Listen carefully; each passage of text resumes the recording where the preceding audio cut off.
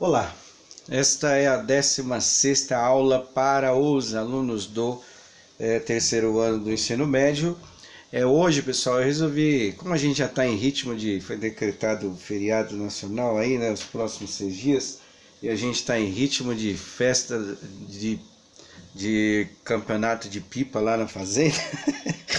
então, é, eu imagino que vocês também estejam assim, né? O, então eu vou colocar dois exercícios bem simples assim do caderno São Paulo faz escola para dar uma treinada nessas ideias, né, desenvolver os conceitos aí da equação da reta. Então eu selecionei dois, né? Lembrando, nós não vamos fazer todos, tá? Aí eu coloquei alguns para complementar por aquela folha, porque que nem eu disse para vocês, são aulas é, bastante teóricas, né? Aí às vezes cai o tema lá e a gente fica meio perdido assim, tá?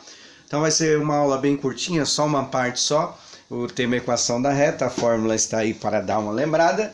E aí nós vamos fazer a atividade 2, que está na página 8 do caderno São Paulo faz escola. Na tabela a seguir são informadas a primeira linha e coluna, algumas equações de reta. Indique nas células é, a intersecção entre da, da linha da coluna se as retas são concorrentes ou paralelas. O que, que significa concorrentes? O que, que significa paralela? Tá?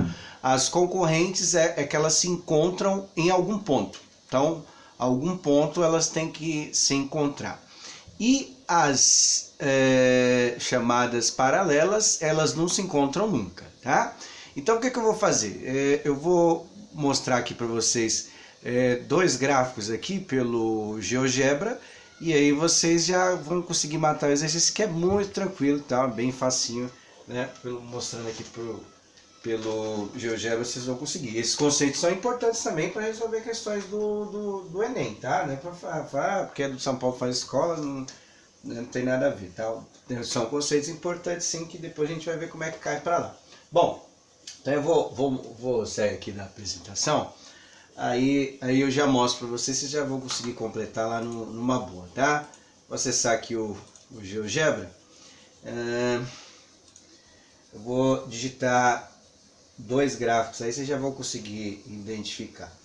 Bom, olha lá, o primeiro vai ser da, tá na primeira coluna, é 2x, é, 2x menos 1, certo? Esse é o primeiro gráfico que está lá na, na coluna. Aí vou colocar o que está na, na, primeira linha, vou colocar o que está na, na primeira coluna. Então, é o 2x menos 2. Bom, o que, que a gente percebe aqui? Que essas linhas elas são paralelas, tá? Por que elas são paralelas? O que, que vai determinar quando eu comparo dois gráficos do primeiro grau ou equação do primeiro grau, vai determinar que um fica paralelo ao outro. Não sei se vocês conseguiram observar, mas é o valor do A, tá vendo? Se esse valor do A for igual, igual, igual nesse caso aqui 2x e 2x, independente que gráfico for, elas vão ser paralelas. Então aquele A vai determinar isso, tá vendo? Então se eu mudar, por exemplo, aqui, colocar, opa, por exemplo, é, menos, eu vou pôr menos 3 só para não ficar, menos 4, é só para não ficar muito lógico, colocar aqui menos e 4, Uh, aí, ó, ele vai um pouquinho mais para lá, mas que passa o B aqui menos 4, então, né? É, então, o que determina isso é o valor do A. Se o A for igual, então eles vão ser paralelos, tá? Então é o que você vai colocar lá. Aí vou colocar um outro gráfico, comparando aqui da função, vou pegar o, o mais fácil, a segunda coluna, tem o gráfico 3x, tá? Só 3x só. Então o A é igual a 3. Então eu vou apagar isso aqui e vou colocar 3x, certo? Bom, aí, ó, aí agora o que, que acontece? Esse ponto aqui é comum, tá vendo?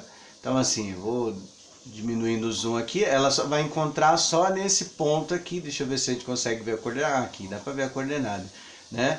É, para x igual a menos 1 e para y igual a menos 3.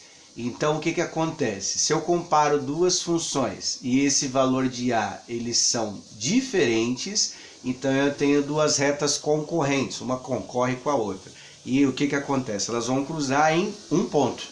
Tá? Dependente de qual que você colocar, elas têm um cruzamento de um ponto, porque cada inclinação vai ser um valor diferente, né? E eles vão se encontrar em um ponto. Pode ser próximo, pode ser longe, mas eles vão se encontrar em algum ponto, tá bom? Então é isso, tá? Então voltando lá na, na atividade, bem, é bem tranquilo, né? Por isso que eu falei aí, é o ritmo de festival da pipa na fazenda, né? É, então aí você vai comparar, observando elas, vai ver se o valor de A é igual. Se for igual, é, é paralela, se for diferente, concorrente. É para escrever aí, tá? Só para completar aí, certo? E o exercício número 2 tá? É, é, na verdade não está na, na, mesma sequência, né? Tem uma aqui que, eu, que é de hexágono, por enquanto eu vou deixar ele aí, não, não vou deixar stand-by, porque pelo que eu vi aqui na prova não tem muita coisa não. Aí tem o 4 e tá na página 10, tem a atividade 1 e essa atividade 2. Eu vou colocar alguns exercícios mais fáceis, até para dar tempo também para vocês, quem não pôs em dia, colocar em dia aí as atividades que estão faltando, tá? Bom, então tá lá, ó, determine a equação da reta que passa pelo ponto A, 2 e 5 e tem inclinação m igual a 3, tá? Então vamos ver a coordenada do ponto, ó, x e y, né? x é 2, é y 5. O A é igual a 3, tá? É, e aí você vai usar essa fórmula geral aqui para poder calcular. Professor, mas ele está falando lá de M, né? Alguns exercícios, principalmente da prova da P, ele dá essa nomenclatura aqui, ó, a, a forma da função geral mx mais n. Muda alguma coisa? Não, né? O mais comum é usar A e B. Tá? Até algumas questões do Enem usa dessa maneira e tal, por isso que eu mantive. Os livros didáticos usam. A, a P a, e alguns livros também didáticos usam mx e n. Não muda nada, tá? Então aquele m está fazendo o papel do, do A, que a gente viu na, na forma geral. O que, que você vai fazer? O A é igual a 3. Então, identificando aquele ponto, tá? aquele ponto 2 e 5 que ele deu, ah, essa questão caiu na AP 2018. É, você vai identificar quanto vale o X, quanto vale o Y, substituir nessa equação para poder calcular quem? Calcular o B.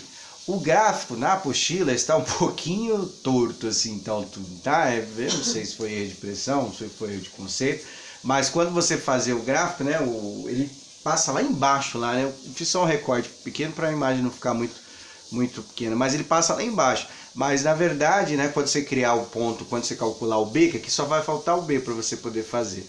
O ponto vai cortar um pouco mais em cima, tá? Mas ele está bem desproporcional aí, né? Então, hum, não sei se foi erro da apostila, não sei se foi erro de conceito, tal, não sei. Aí é, faz esse daí, escreve, qualquer coisa confere lá no GeoGebra e vê se passa pelos pontos 2 e 5. 2 para x e 5 para y. Tudo bem? Então, como eu falei, ia ser uma aulinha bem light, bem tranquila hoje. Só esses dois exercícios aí.